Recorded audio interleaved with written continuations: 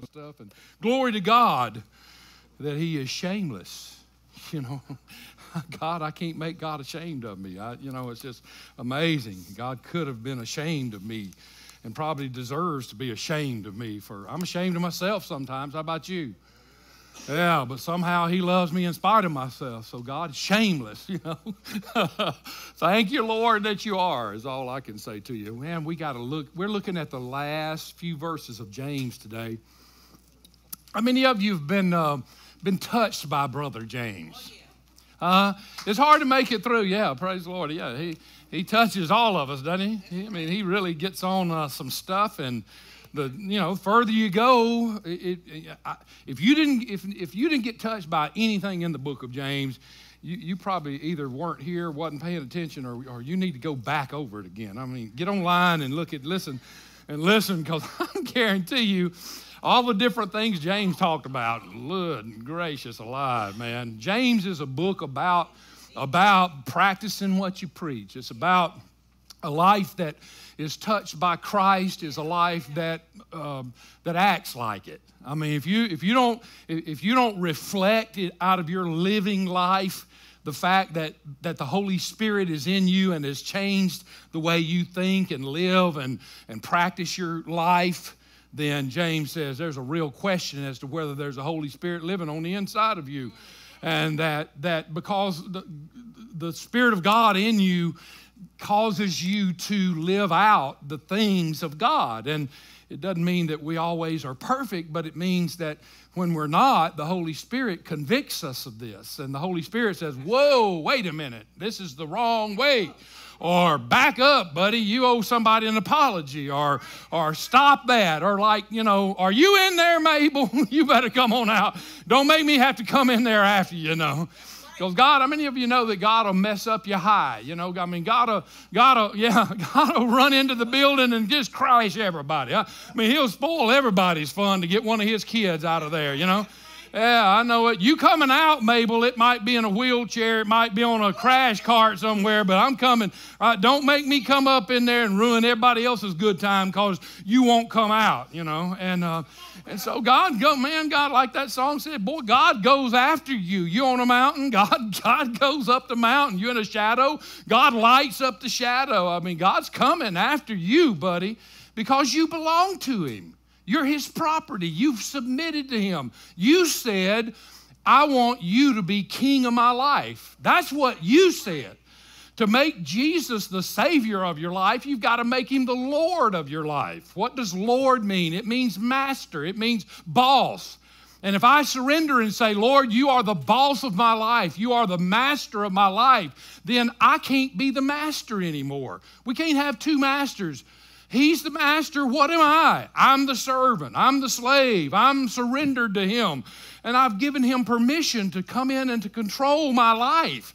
I've asked him and I've said, I want you to take me and Lord, help me in, from, to keep from messing up all of this and, and do what you want to do in me so that I can reflect your glory, which is why I was created on this earth to start with, so that I can fulfill the purpose that I was created for, which is to reflect you to all of the world. How many of you want to create, uh, want to uh, accomplish the purpose that you were created for? I'm going to say all of you do.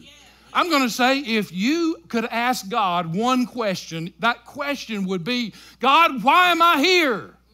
Well, God's already answered that question. The Bible's filled with the answer to that question that says, You are here because I want you to reflect me to these other people out here so they can see me through you and be drawn by faith to be like you and reflect the glory of God. You, that, that's your purpose. That's why God created you. That's why He saved you. That's what the church is. You know, he said, you don't, you don't take a, a, a lamp and, uh, and put a bushel basket over it.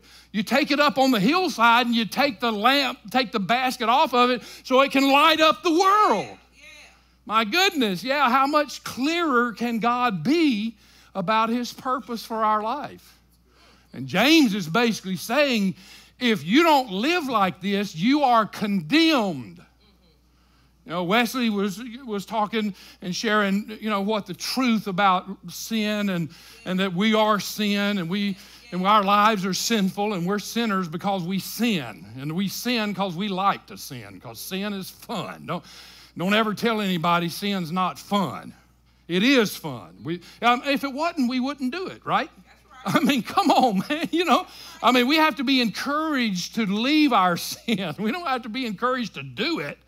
Oh, we want to, you know, I mean, our bodies crave to do it because our bodies are sinful, you know. And in sin, David said, In sin did my mother create me uh, conceive me. And it doesn't mean she was having adultery whenever she was conceived. That means that from the very moment of conception, where the, where the, where the, where the sperm hit the egg, uh, David said, I'm a sinner from that point because I get polluted blood. I get, I get that blood that's passed down from Adam's generation all the way down to whatever generation you are. And I got polluted blood running in my veins. I got sinful blood running in me. And I'm a sinner. But in spite of that, Jesus loved me and God loved me and sent a Savior that whose blood was perfect, not full of sin, so that his blood could wash me clean and I could be in heaven with God and I could be cleansed before the Lord. And James says, that is so majestic that if that happens to you, you will never be the same. Now, are you going to be perfect? No, uh, not this side of heaven but you're going to be striving to be. You're going to want to be. I mean, listen, if you tell me that you have Christ living in you and you don't want to be holy, I'm telling you, you don't have Him living in you.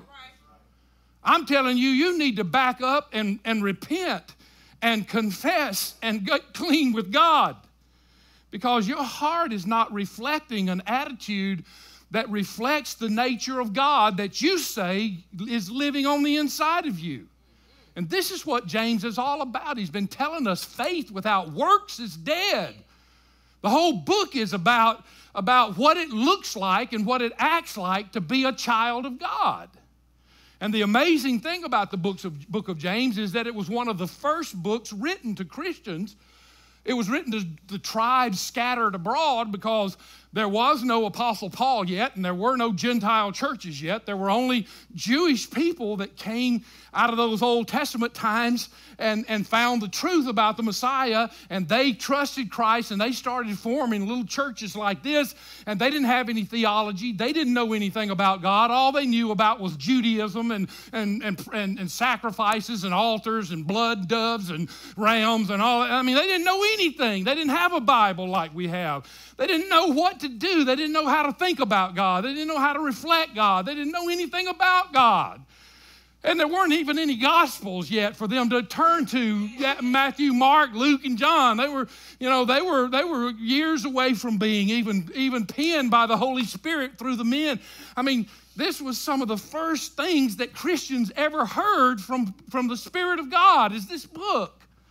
And James says, this is what the Spirit of God says the Christ life is all about, right here. Right where the rubber meets the road. And in these last few verses, let me just read you what I wrote. I mean, I hope, did, did you guys pick this up before, you know, when you came in? Now, the reason I gave you this is because I anticipate that I might mess this up. And um, I might not get everything said I need to get said. And so I gave you the.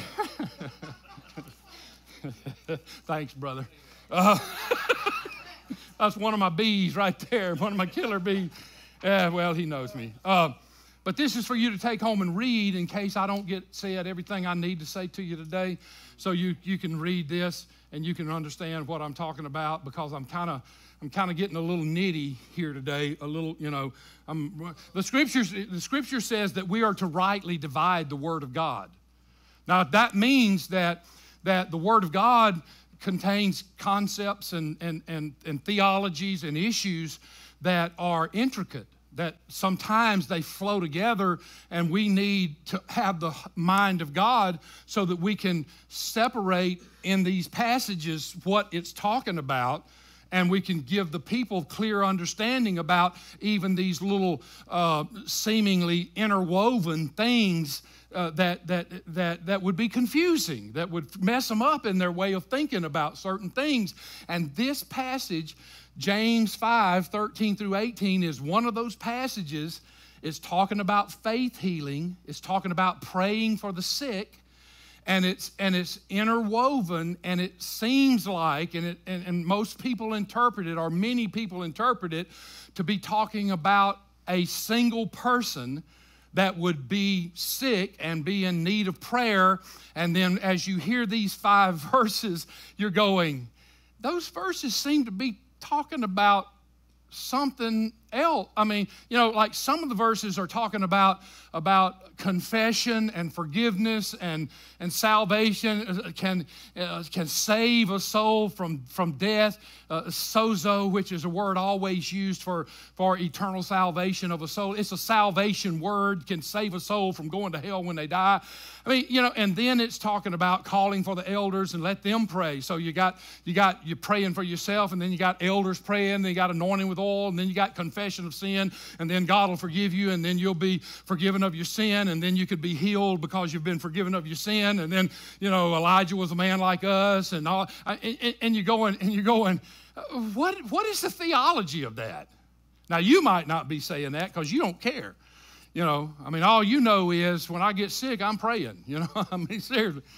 It's like old Richard Roberts said. How many of you know, uh, have heard of Oral Roberts? You've heard of Oral Roberts? Well, Oral is with the Lord right now, but his son is Richard Roberts. Well, back in my generation, this was the 70s, 80s, and so forth on up. Oral Roberts was a big faith healer. I mean, he was a big, that was one of his big messages. And he he did worldwide crusades, man. I mean, he was like, he was like everywhere in big stadiums and everything. And people would come down and, and be prayed for to be well and all that kind of stuff. And he would claim miraculous healings and touching his hands and people being healed of diseases and all that kind of stuff. And then he built a hospital and this hospital was at Oral Roberts University and had a big medical center.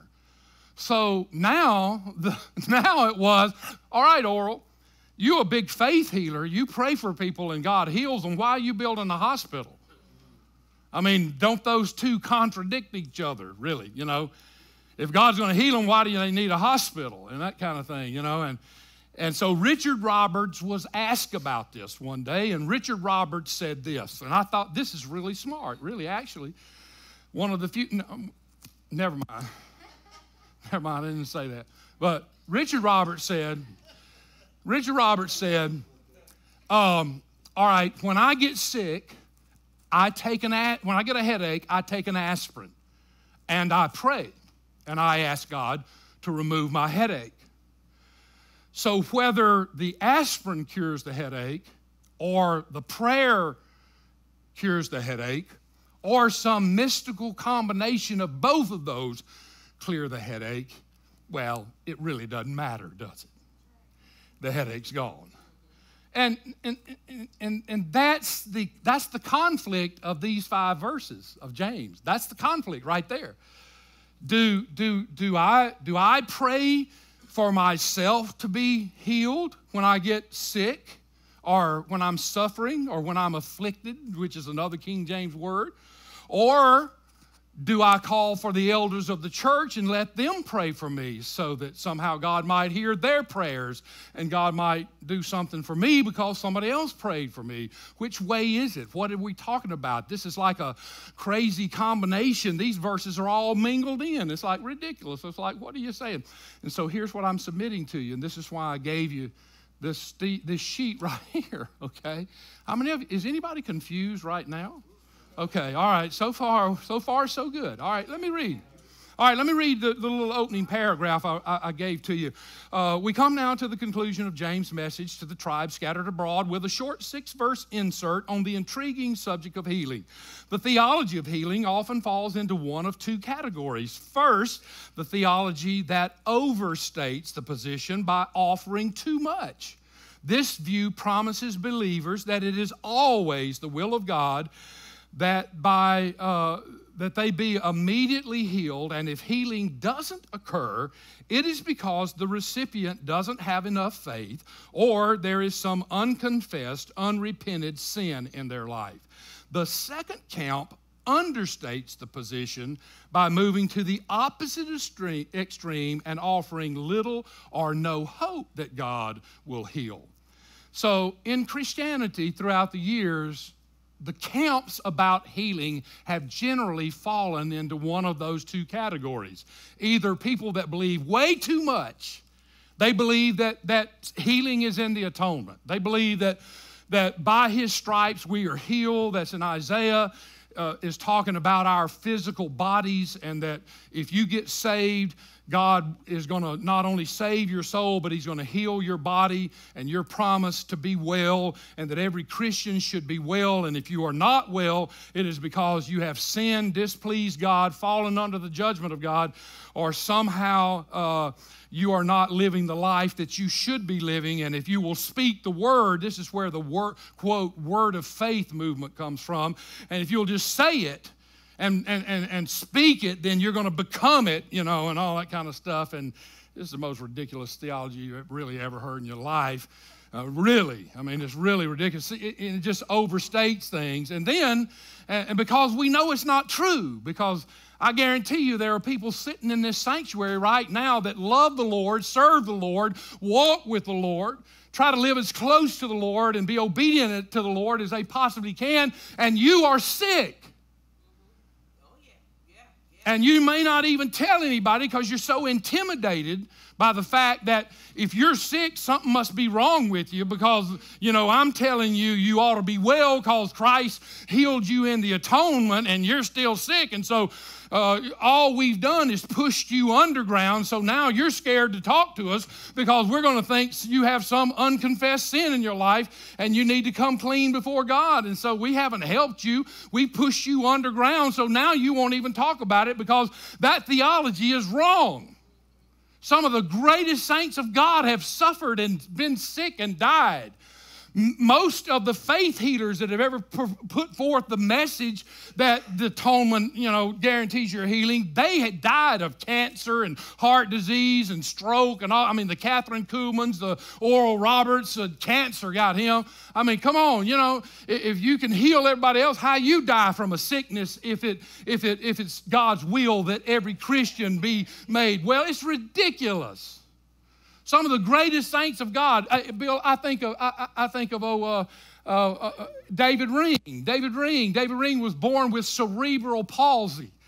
I mean, he, he can't, he can barely walk and he barely talk and he talk like this and he, I can't even take Jesus and he preaches he's an evangelist and man i mean you, you know you think well i don't couldn't really understand that. Well if you listen to him about 30 seconds all of a sudden you can hear every word he says. Just, and man people get saved and all that and they said he said they told me i never have children. I've got three boys now. I mean he said he said uh, I, I looked at god i think god i want you to heal my body so i can be normal. And then he God said, What normal? And, and, and, then and then he looks at you and said, You think you normal? you know?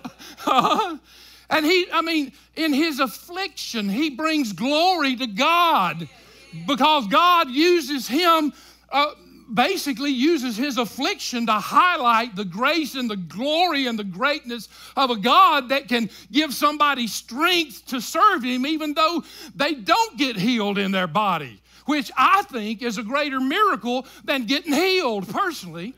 I think if God gives you the strength that his grace is sufficient for you to walk with him even if you don't get what you pray for that that's more of a reflection of a nature surrendered to god than somebody that gets happy because they get healed who couldn't get happy if you get healed Bless God, it's a miracle. Sure, it's a miracle, and I pray for it, and I, I pray for you to have it. I, you come up and you say, Pastor, I, I need you to pray for me. The first thought in my life is not, well, what kind of sinner are you?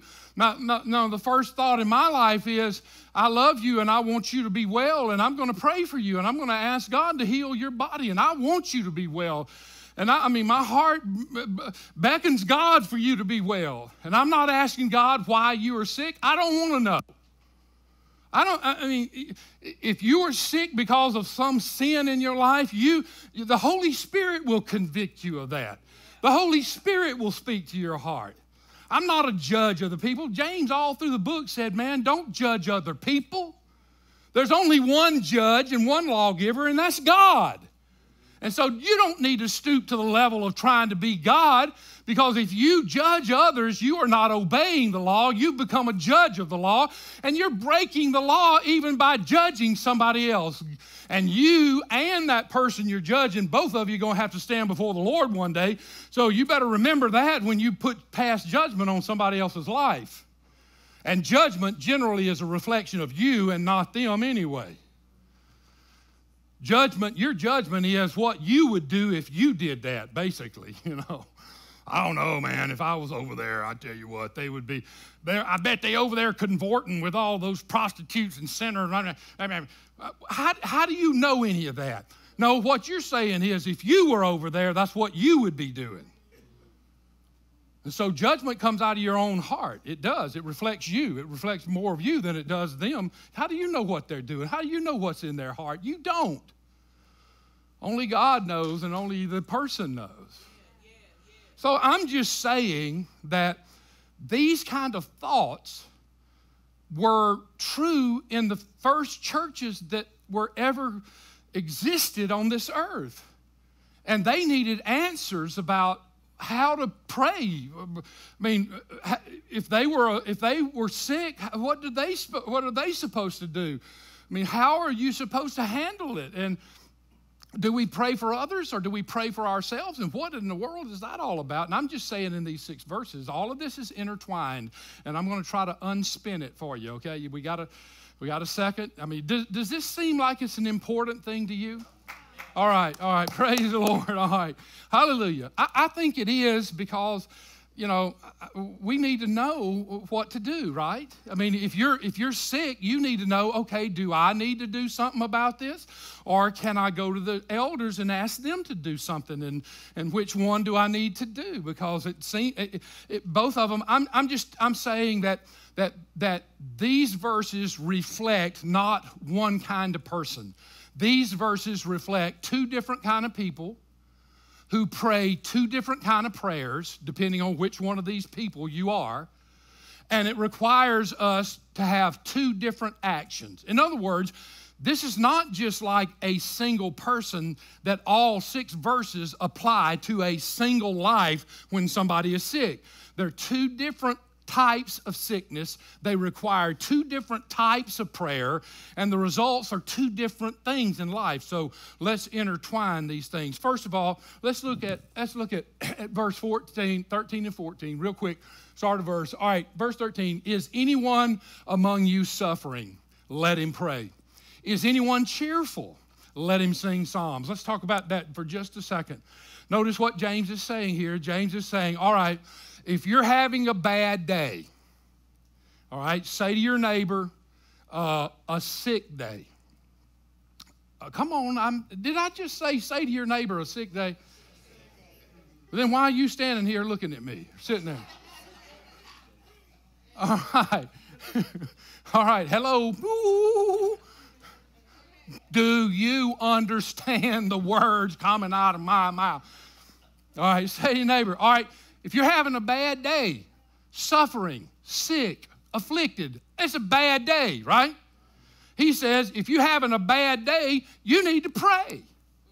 And he said, if you're having a good day, everybody say, you're happy, you're merry, all right, you're joyful, then you are to praise the Lord. Sing psalms which the word in Greek means to sing hymns and psalms, to, to praise the Lord. And the word is a verb, and it, I'm no, I don't want to strain a gnat and swallow a camel, but just go with me. And the word is a verb, and the verb is a continuous action verb, which simply means that when I praise, I'm just doing something that is a continuation of something that I'm already doing every day. Every day, because these are not mutually exclusive, right? I mean, it's not like you have to choose one or the other. You can do both of them. When, you're, when things are bad and going bad and you're suffering and afflicted, you can pray and you can praise, right? And when things are going good and you're merry and you're happy and you're lighthearted, you can pray then too, right? And you can praise. So these are not mutually exclusive, but James is saying, all right, I, he, he, says, I want, I'm, I'm, trying to make a point to you, is what James is saying. James is saying, you know, the, the, one of the points here is that, that, that, that Christian people are singing people, you know. Christian people are joyful people. I don't know if you're aware of this, and this is history, but the, the, the first mention of Christians outside the Bible they were mentioned, the, the, the, Christians were first called Christians, according to the book of Acts, at a city called Antioch. Before, before that, they didn't know what to call them. I, I guess they called them, you know, Jesus followers, or they called them, you know, followers of the way, or, or, or baptism people. I don't know what they, what they called them. But in the, at Antioch, there was a city, and a bunch of Christians came in there and, and, and formed a church. And the, it was the citizens of Antioch, not, not the church, not the saved people, it was the outside people, the lost people that, that looked at that bunch of Christians and they said, Hey, what do we call those guys? And then somebody said, I don't know, let's call them Christians, which means little Christ. It means, it means reflections of Christ, Christian, a Christian. Let's call them a Christian. In other words, the citizens of Antioch looked at them and said, they, I don't know what to call them. Let's just call them little Christ. Let's call them, you know, Christians. And, and, and I'm just thinking, you know, uh, has anybody ever called you a Christian? Has anybody ever said that about you? Because I'm getting the point I'm getting to is I'm not sure you have the right to say it about yourself until somebody else says it about you. You hear what I'm saying to you?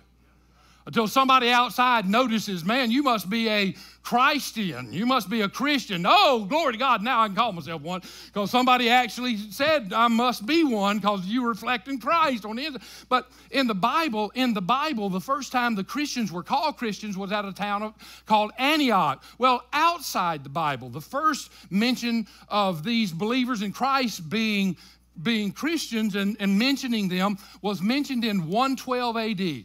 And it's not important really, you remember the date, but, but that was, you know, like 70 years after Jesus went on the cross and all that. It was mentioned by a Roman governor. His name was Pliny, P L I N Y. I know you're going to look it up on Google and all that.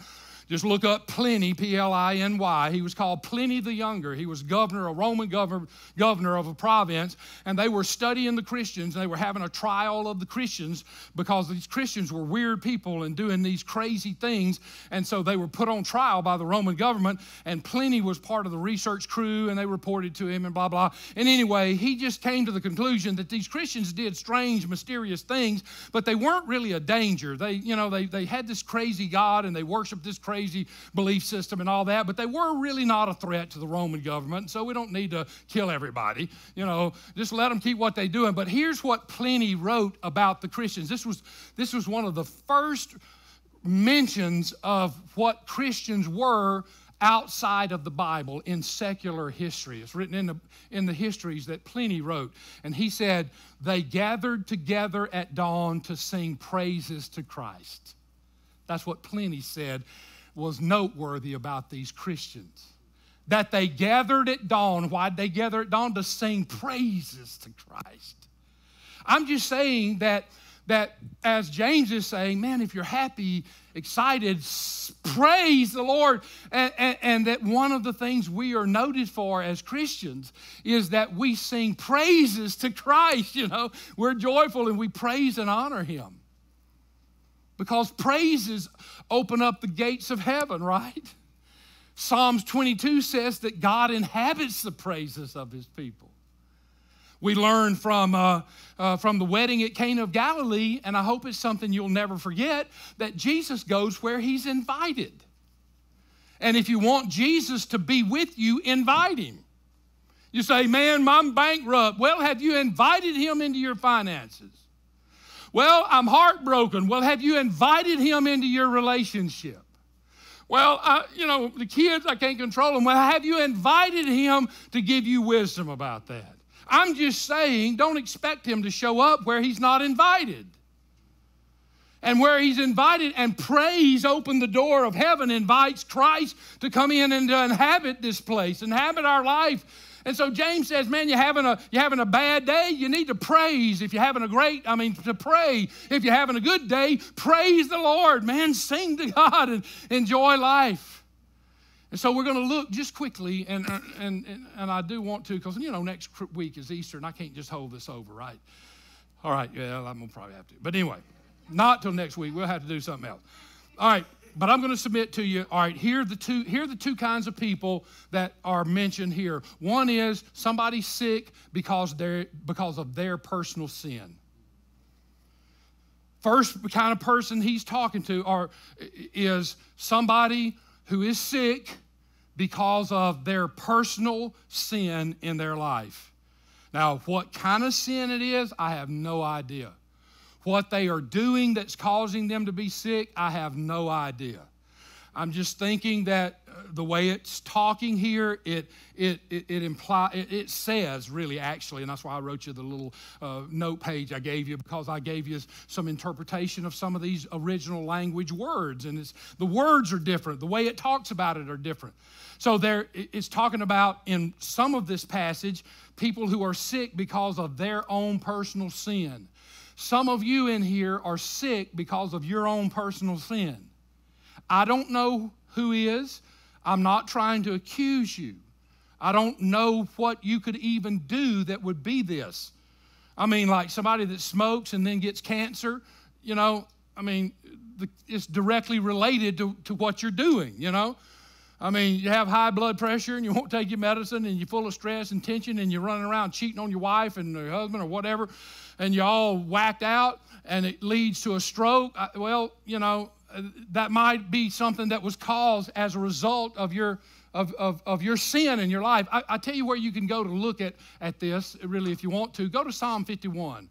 Now, not now, but go to Psalm 51, write that down in your note, and look at what King David said about his sin. His sin was, you know, he committed adultery with Bathsheba and he got her pregnant and then brought her husband home from the battlefield and said, Go in there and live with your wife and enjoy some good time. And, and Uriah looked at him and said, Hey, no, we can't do that because the law of Israel says I can't go in and enjoy my family while my brothers are out on a battlefield fighting. So I, I, thank you, sir. I appreciate the opportunity, but I'm going back to the battlefield because that's what I'm supposed to do.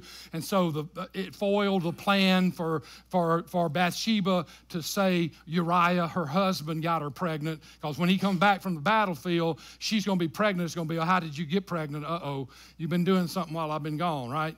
Okay, so David's plan was to bring him back, let him be involved with her, let everybody think that he did that while he was back, and everything's going to be slick, man. You know, okay, nobody will notice all that.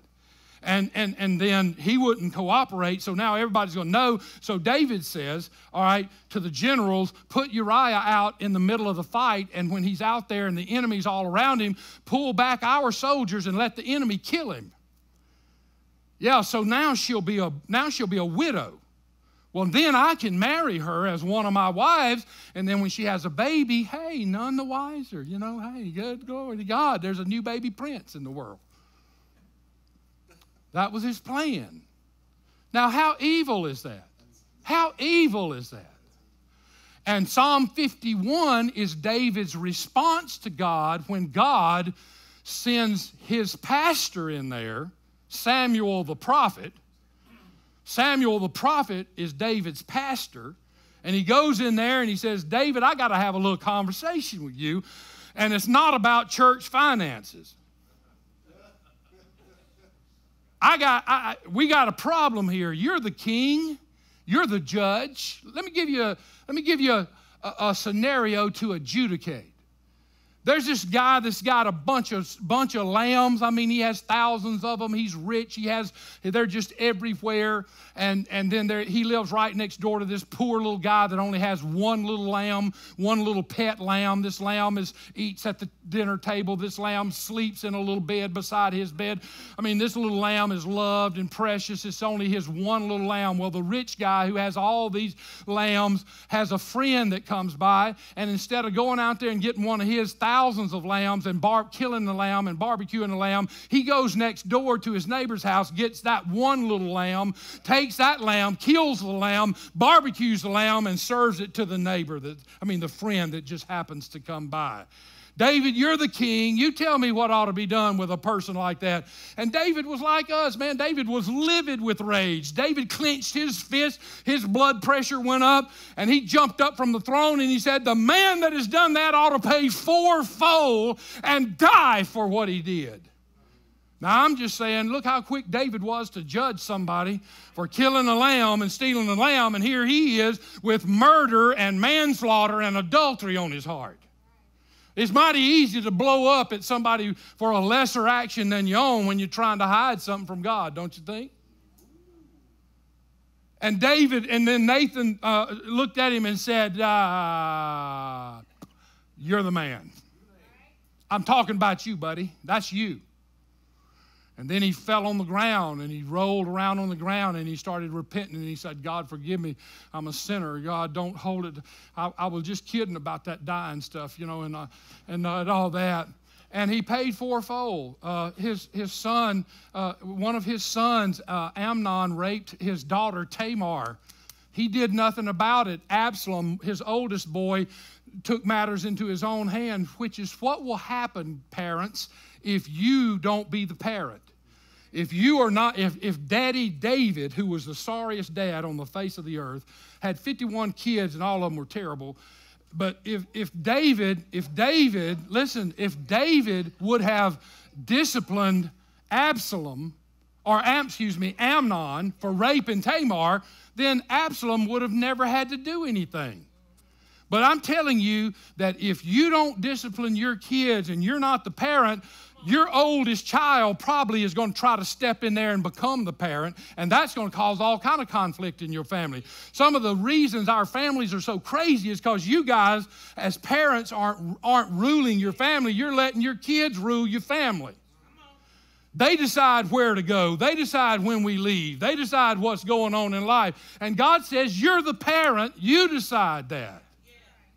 And so, anyway, Absalom feels like he's got to punish Amnon. And so, Absalom, uh, you know, kills Amnon, his brother, for raping his sister.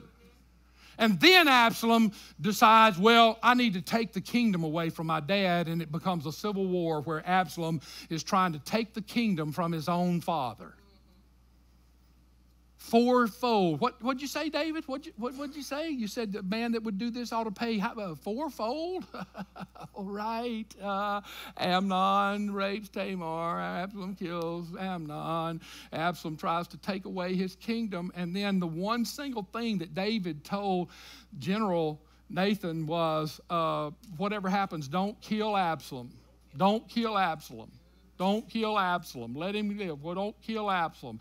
So Absalom's riding on a little donkey one day down the road, and he's got these long curls by, you know, like a rock star or something. He's got long curls and they're bouncing up and down on his head. And he goes under a limb hanging low, and his limb hangs up in his hair, jerks him off the back of the donkey, and he's hanging up here like a pinata. And Nathan and his boys just happened to come by. And Nathan says, Hot dog, boy. He said, All right, let's see how big of a pin cushion we can make out of him. And man, they just pierce him, they just slay him, they kill him, they mutilate him. Man, he's the enemy of the kingdom. He's trying to take the kingdom away from his own dad. He's a subversive, he's an anarchist, he's the enemy. And Nathan has no problem identifying that and says, Let's kill the bum because that's what he deserves. And then they go to David and they say, Oh, David, uh, we got some good news for you and some bad news. The good news is um, you're not going to have to worry about your kingdom being taken from you. And the bad news is because uh, Absalom's dead. And then David falls down on his face and starts crying and says, Oh, Absalom, Absalom, how long will I have gathered you under my wing like a mama chick, mama hen does to her chicks, but you would not. Crying and, and, and, and snot nosing and, and and Nathan says, Get up off of the ground, you idiot. Man, all these people have put their life in jeopardy, and you're throwing away their sacrifice and crying over somebody that tried to take the kingdom away from you. You're insulting the people that are trying to serve you. Get up and act like a man. Fourfold, David. You said he's going to pay fourfold, didn't you? And then because he repented, he didn't have to die. But Psalm 51 tells you all of the results of that sin, and every one of them are some physical ailment, some physical issue that happened in David's life. A guilty conscience, a knitted brow, an irritable temper, a brain that is filled with conflict and confusion and strife, a joyless life. All of these are physical results of the sin of adultery and manslaughter and sinning against God. I mean, there's your perfect example of what James is talking about when he says sometimes sin will cause you to be sick. And some of you that are sick are, mo- are sick because of this, most likely. What you did, I don't know. What happened, I don't know. But you are never going to be made well until you come to God for yourself. Nobody else can come for you. Nobody can confess your sin but you. Just like when you're saved, nobody can go before God and ask for salvation for you except you. You must personally represent yourself before God and say, God, I surrender. Come into my heart and save my soul. Nobody, you can't go to the elders and let them pray for you. God has no grandchildren, no great grandchildren, only children who go for themselves and ask God to save their life, confess their sin, repent of their sin, turn away from that, and say, God, I'm walking with you. And before you get healed, you are going to have to go before God and say, God, my life is filled with this. God, forgive me of this. I turn away. I walk away. God, I say the same thing as you say about it. It's wrong. It's sin. So, God, forgive me of my sin. And then stop doing whatever it is you're doing. Don't be sitting over here saying, God, heal me, God, heal me, God, heal me, God, I'm sorry, God, I'm sorry. And then you still over here in your sin, just walking merrily down your way. Uh, no, no, no, no, no. That's not repentance. To repent means to walk over here on God's side and you and God both look at it together and you say, God, I agree with you. This is wrong and I'm separating myself from it. I'm not standing in my sin saying, I'm sorry, God, this is so bad, this is so wrong. And then just, you know, no, you get, you walk away from your sin and you walk over here with God and you got confess. Con means similar or same, fess means to speak or to say. Even the Greek, homo, homo means the, the same or similar. Uh, legeo means to speak and to say.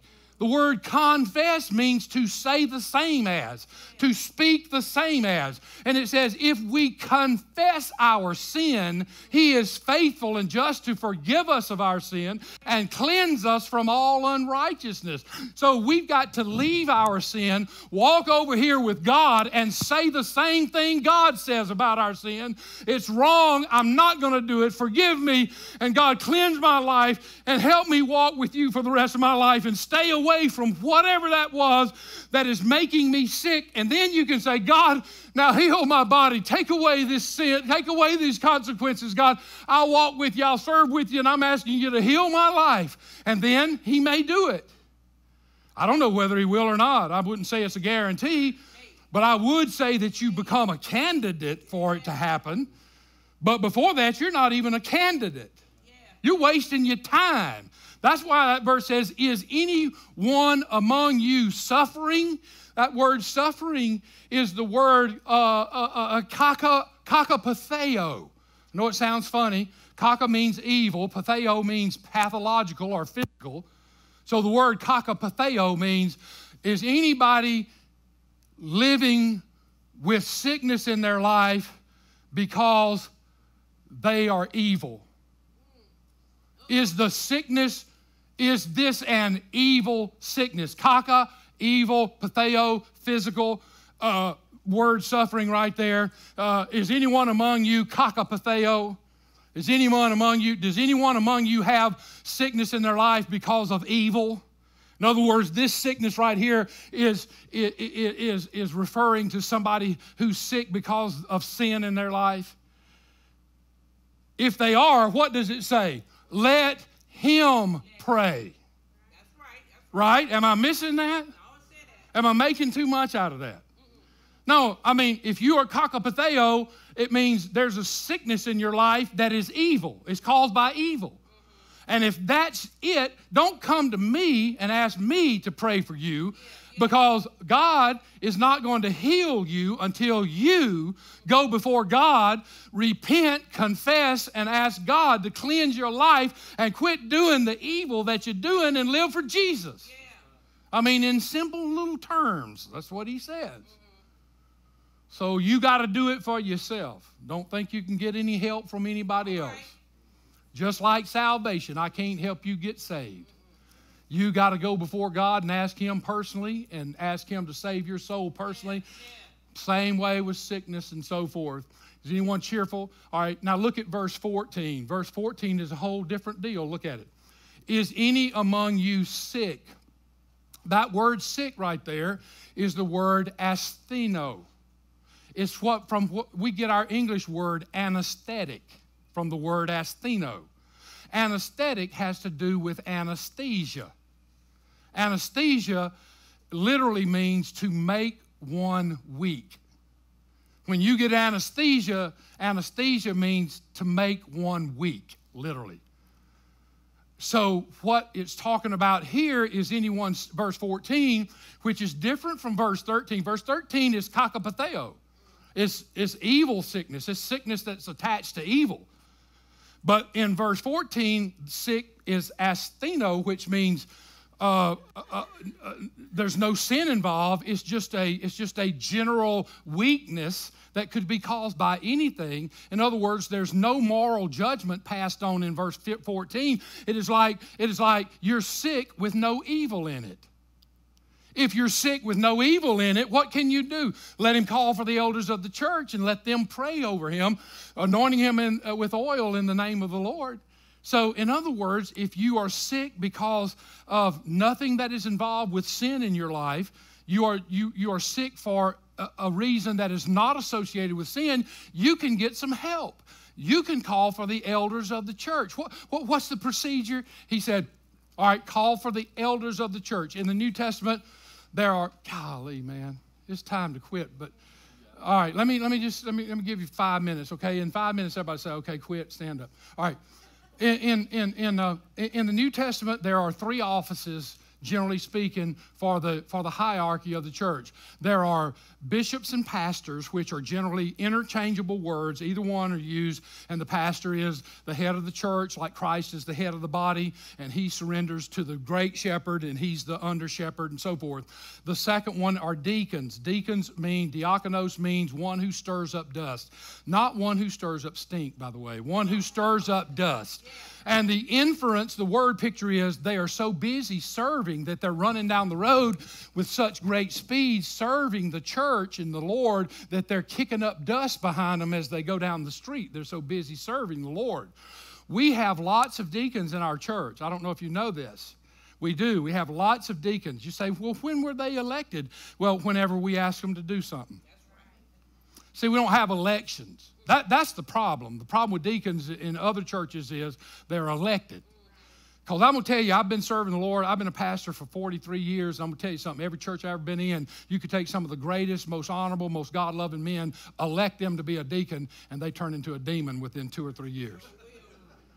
You know why? Because once they get elected, they, it becomes political. Because it's the people that they got to please who elected them so they'll vote for them again and they can be a deacon again.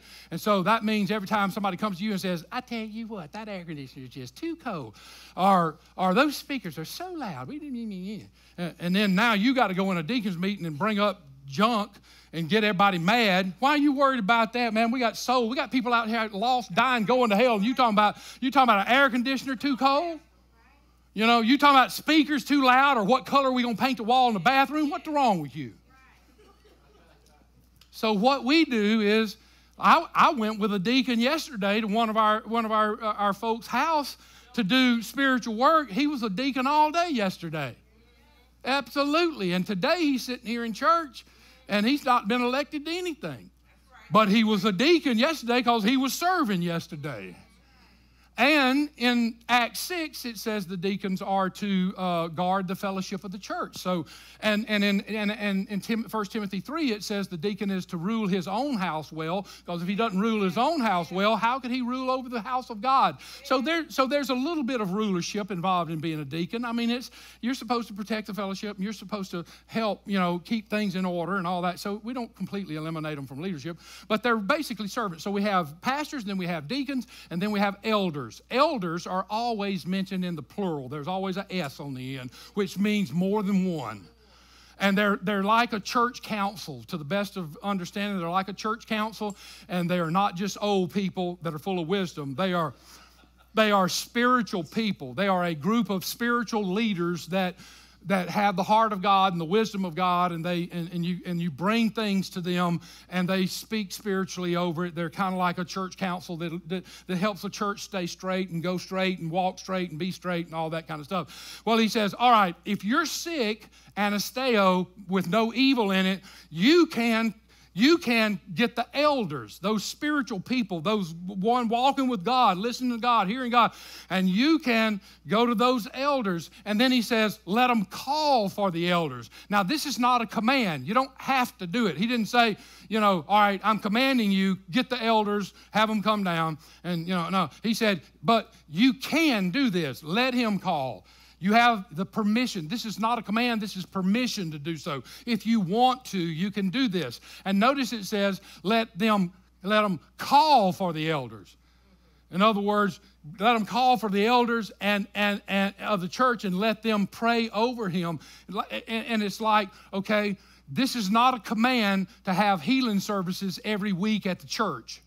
This is permission to take somebody who is sick because of no evil in it, take the elders to the person's house and let them go into the sick bed where the person is and let them gather around and let them speak to God on behalf of this person that is sick and ask God to save their soul and to and, and to, to heal their life and to be with them and to and to bring their body forth, you know, and, and, and you can do this. Now, if you want to bring them to church and let let it happen at church, I'm not against that. I don't want to, you know, I'm not trying to strain in that and swallow a camel, but but it really insinuates that you go you go where they are because they're in a sick bed and you pray over them, blah blah blah, and anoint them with oil. You say, why anoint them with oil? I have oil.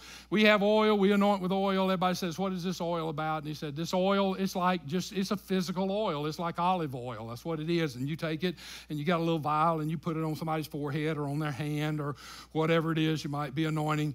And and and and the oil there, there are three things it could be. One, it could be an accompanying enablement, and I know that sounds weird, but an accompanying enablement means a physical something that represents something that will help you believe that something is happening.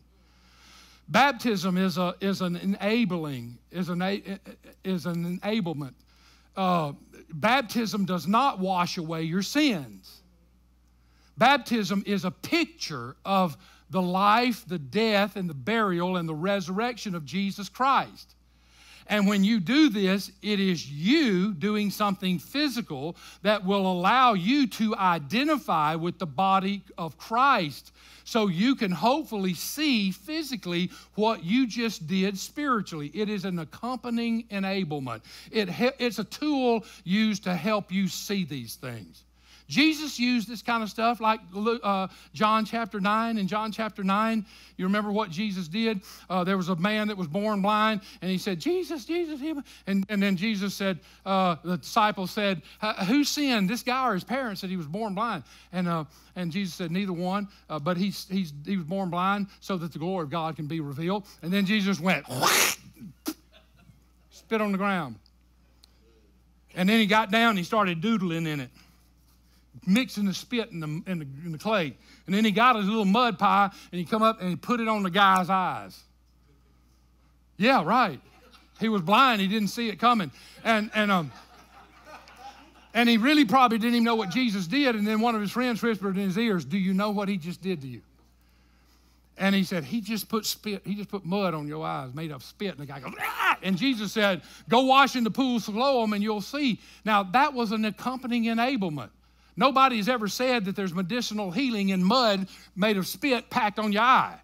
It was just Jesus' way of saying, I'm going to do something physical that when you do what I tell you to do and wash it off, it's going to matter. It's going to help you believe that, that, that I did this. It's, it's, going to, it's going to be something important so you can lock it in and, and believe it in your heart. So, it, oil could be an accompanying enablement, or some people say it represents the Holy Spirit. But here's what I think the most this is what makes most sense to me. Uh, oil was the. Uh, oil was the uh, medium of medicinal use in Jesus' day. In other words, oil in Jesus' day were like pills and capsules are today. Pills and capsules are a way to dispense medicine into our body.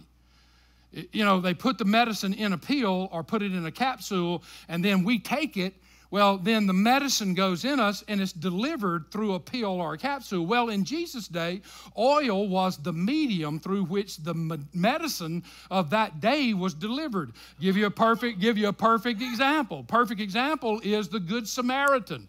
The Good Samaritan in Luke 10, when the guy was in the ditch, beat up, tore up, about to die, the Bible says the Good Samaritan gets off his donkey, goes down and pours oil in the wounds, not on them pours it in the wounds, wraps them up, puts them on his donkey, takes him to the Holiday Inn, and says, Hey, take care of him until I get back.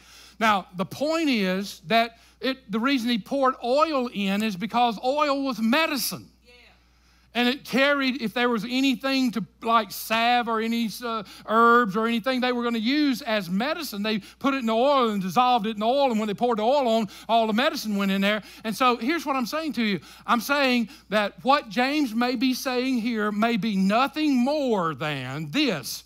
When somebody is sick give them their medicine.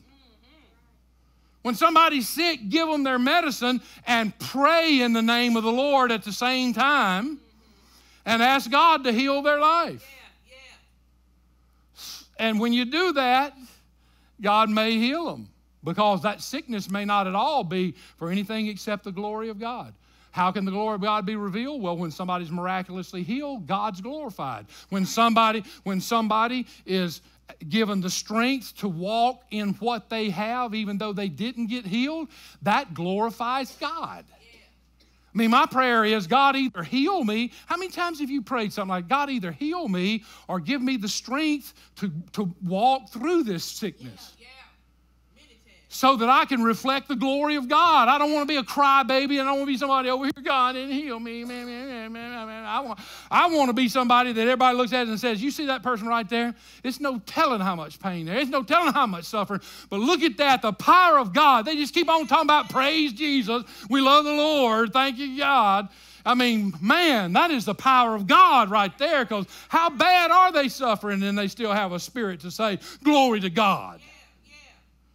And so James is saying, man, when, you're, when you have sickness in your body and it's not because of sin, it's, it's astheno, it's sickness with no evil attached to it, you can get some help, man. You can call for the elders, let them pray over you, anoint you with oil. I mean, ask God to save you. I mean, to heal you and all that kind of stuff. And then, and then you know, he, will do it. And then, um, okay, I'm, y'all see I'm really struggling because I'm running out, way out of time. And the prayer fail, and the prayer faith. Now here's the sec, here's the one with this is some more verses about the person who is a sinner, and it just says this. All right, uh, and the prayer of faith will save the sick. That word save is sozo. It's the same word that's used for salvation everywhere. Notice the verse does not say, and the prayer of the elders. It says, and the prayer of faith, which means you're praying for yourself. It's not the elders praying for you. You're praying. Whenever you ask the Lord to save you in faith, that's the prayer of faith. And so here it is. So it's prayer of faith, and the Lord will raise him up. And if he's committed sins, you see, there's confession, there's ask for forgiveness, there's sins, there's all that involved in that verse. It all goes together as if sins have to be confessed, sins have to be forgiven, and then sickness can be healed. With all of that merging together, and it doesn't say, and the prayer of faith shall heal the sick, it says, shall save the sick. Sozo, salvation word, save from hell is what sozo actually means. And so this is clearly talking about somebody who needs the Lord, somebody who, who, who, who needs to repent and, and be forgiven. Confess your faults one another, pray for one another that you may be healed. The effectual, fervent prayer of a righteous man avails much. Now he's going to give you the perfect example of a righteous man and the prayer and so forth. Elijah was a man with a nature like ours, and he prayed earnestly that it would not rain, and it didn't rain on the land for three years and six months. And he prayed again, and heaven gave rain and produced its fruit. Now, just, all right, sum it up Sum it up with this. Let me get, hang on. Sum it up with this. um, the reason Elijah is used as the example of an effectual, fervent prayer is because you need to know this. I'll show you that, that he's talking about somebody who needs, to be, who needs to pray for themselves because they got sin in their life. All right, here it goes.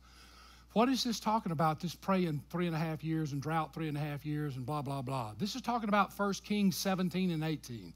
In 1 Kings 17 and 18, Israel, the whole nation of Israel, have sinned against God. Jezebel's the queen, Ahab's the king. Jezebel has created altars to Baal, the foreign pagan god, and commanded that all the Israelites worship Baal. They have fallen subject to that. They're all worshiping Baal, they're dishonoring God. And uh, Elijah the prophet is sent by God, and Elijah goes before the king and said, King, I'm here to tell you it ain't gonna rain till I say so. Now, I'm going to tell you, when you say that to the king, you better be backed up by God, is all I'm telling you. He walks in before the king and says, King, I'm going to tell you something, it ain't going to rain till I say so. And for three and a half years, no rain. Three and a half years, no rain. The, the land is dead. The land is sick. The land is not healthy. Why? Because of the sin of the people of the land. They are worshiping pagan false gods. They are sinning against God, and their sin is directly affecting the health of their land. Their land is sick. No rain for three and a half years, no crops three and a half years, no water three and a half years. The people are dying. Everything is messed up because of the sin of, of, of witchcraft and sorcery and paganism and all of that.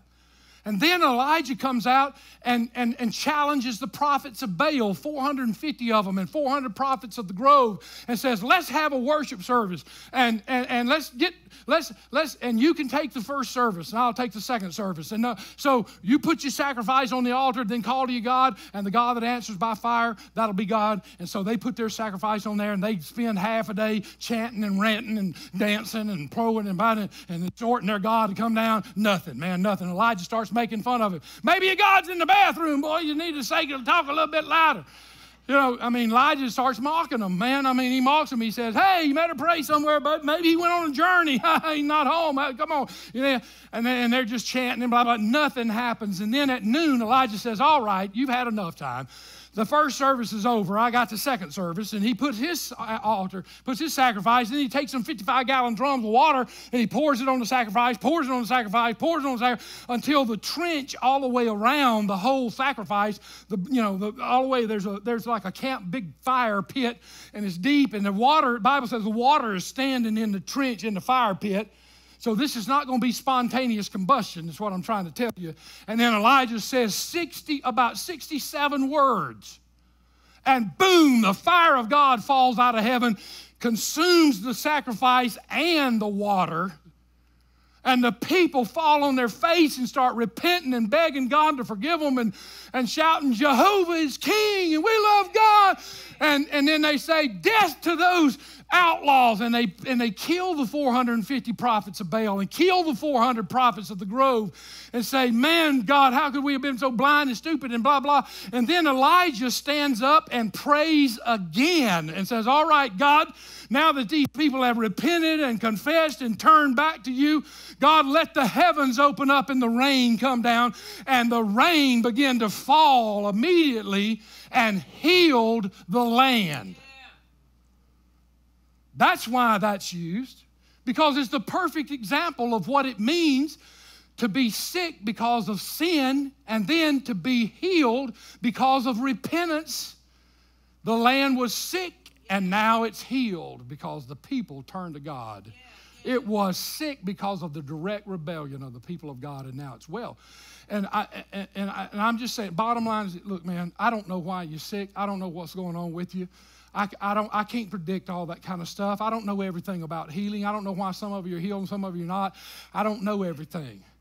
But all I do know is that what God is saying here is, look, man, if you if there's anything going on in your life that, that is contrary between you and God, you need to get that straight, man. You need to confess, you need to repent, you need to go in your prayer closet, you need to ask God to forgive you, and then and then you know once He does that, and then then, then you man call on the elders of the church, get them to pray for you, take your medicine, you know, keep on taking medicine, and then and then ask God to heal you, and and and then let go of it and trust God. Because whatever God does, He doesn't know us an explanation for what He does.